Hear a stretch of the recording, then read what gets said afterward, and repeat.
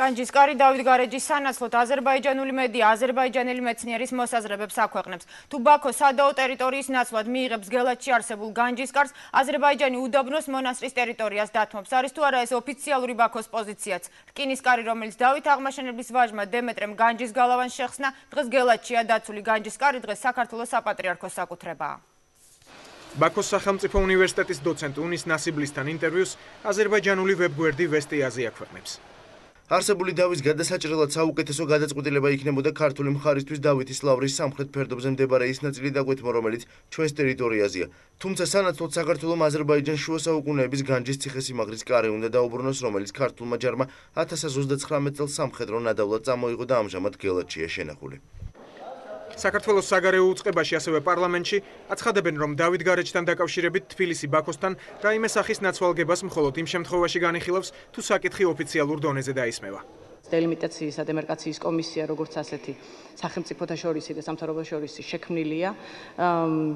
ძალიან ხანგრძლივი შრომა არის ამ კომისიის ფარგლებში, ასე ვთქვათ, გაწეული და თეკმაოდ დიდი დიდი ძალისხმევა, როგორც მინიმუმ ქართველი ექსპერტებისა და ქართული წარმომადგენლობის მხრიდან. ნებისმიერი სახის სპეკულაციისგან ამ ეტაპზე თავ შევიკავებდი, იმდენად რამდენადაც მართლაც ნაადრევია ჯერჯერობით რაიმე სახის კონკრეტიკაზე საუბარი. მე შემიძლია პირობა მოგწეს ძალიან მტკიცე და ძალიან თანამიმდევრული, რაც დადასტურდა უკვე ძალიან ბევრჯერ ნებისმიერი საკითხი გადაწყვეტა საქართველოს ინტერესებიდან გამომდინარე და იმ მეგობრული სულისკვეთებიდან გამომდინარე, რომელიც პარტნიორული სულისკვეთებიდან გამომდინარე, რაც არის საქართველოსა და აზერბაიჯანის შორის.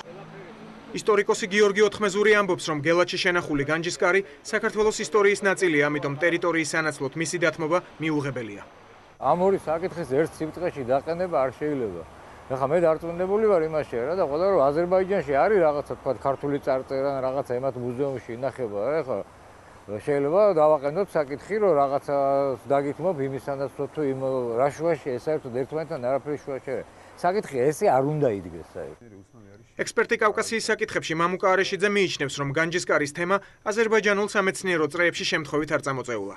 გასაკვირველი ოფიციალურ ბაქოს შეულიეს მოლაპარაკებების დროს გამოიყენოს ეს თემა.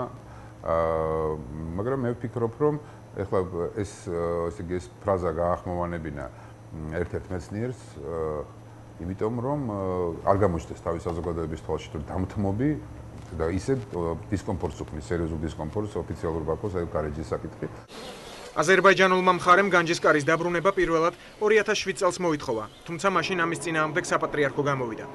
დააყენებს თუ არა საკითხს ბაქო ხელმეორედ, ეს ორმხრივი კომისიის ხდომისას გახდება ცნობილი.